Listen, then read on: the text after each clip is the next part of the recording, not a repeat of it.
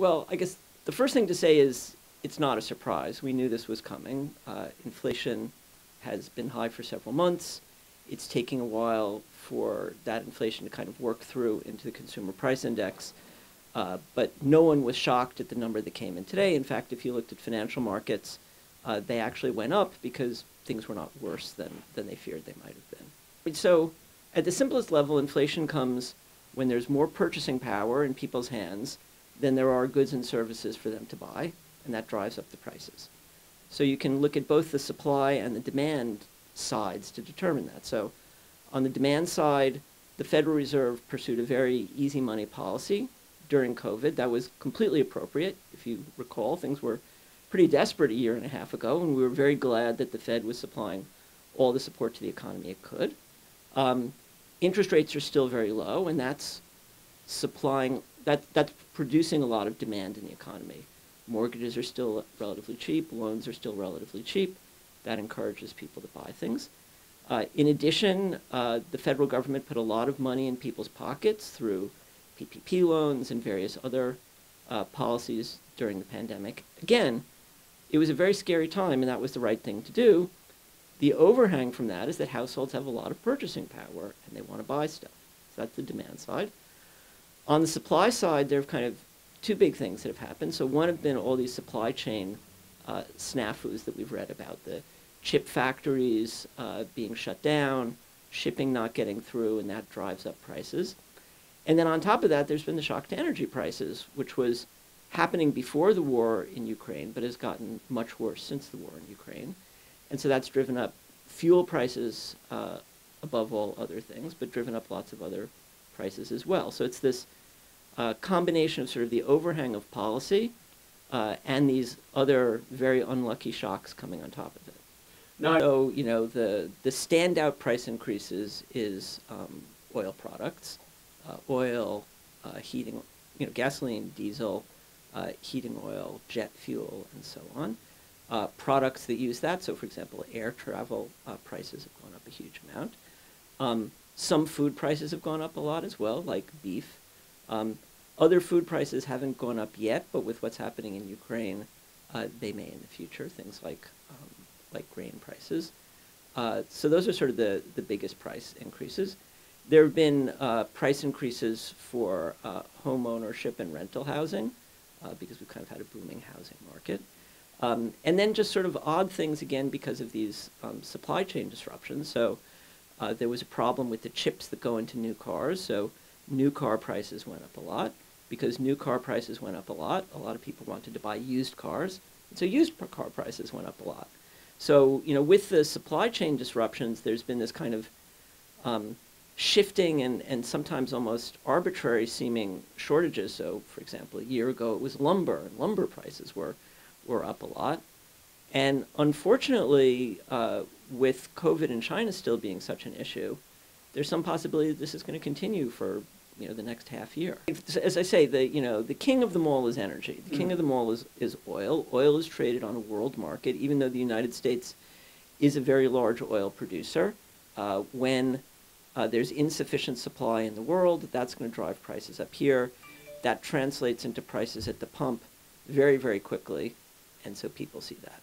But then if you think about something like beef, there's, you know, figuratively speaking, a lot of oil in beef. There's, there's, you know, the trucks that drove the grain to the feedlots and carried the meat here and there and, and so on and so on. So some of it's that.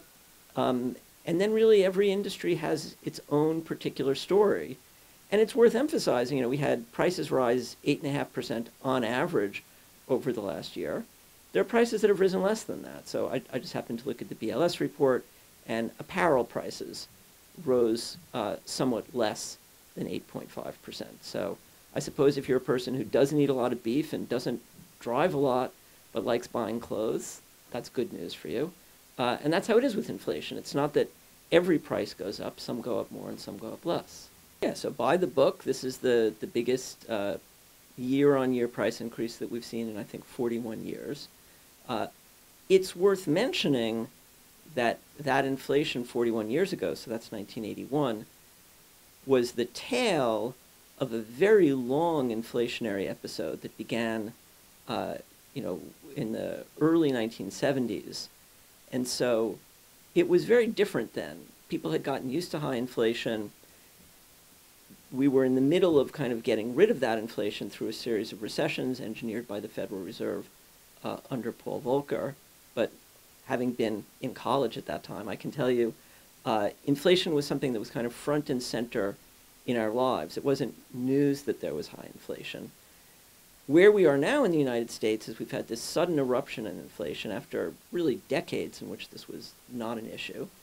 Um, and in all likelihood, it will be a brief eruption. We may well have a recession, uh, again engineered by the Federal Reserve to uh, stop inflation uh, from going up. But at least if you look at what financial markets are saying, there's very little chance that we're really entering another period of prolonged 1970s style inflation. So when we look back 10 years from now, I think what we'll see, what the financial markets think that we'll see, is a very brief eruption of inflation, possibly followed by a recession, but a return of, of price increases back down to 2 or 3%, which is where the Federal Reserve targets them. A concrete example, if you think about someone who's on Social Security, every year uh, with Social Security, you get a cost of living adjustment. In this last year, the cost of living adjustment was something like 6%. So if you're a Social Security recipient, in January, you saw your check go up by 6%, you probably thought, oh, this is great, I can buy 6% more stuff, and that's very nice. But of course, over the rest of this year, your monthly check is going to be the same, and on average, prices are going to be drifting up over that period, and so you're going to see your purchasing power diminished.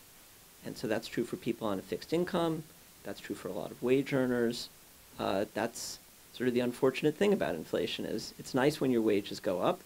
Uh, it's not nice when the prices you have to pay go up. Ask me about this, but um, high inflation is obviously going to be something of a political football.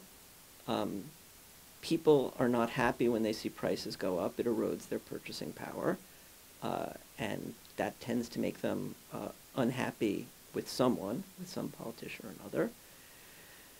I don't think it's going too far into partisanship to say that the bout of inflation we're having now is not really the product of decisions by uh, our politicians.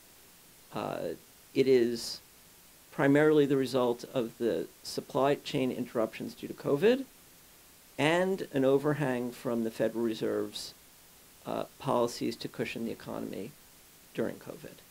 So uh, it's clearly not that economic policymaking has been perfect, but sort of the partisan things that really both sides bring to the table uh, or will bring to the table in this discussion uh, are probably not that relevant to, to why we're experiencing inflation now. Uh, the economy had a very, very hard time with COVID. Uh, we did a lot of extraordinary things to keep the economy afloat that was all good. And if uh, the result of that is that we're going to have to tolerate a brief period of inflation, that's probably not such a high price to pay.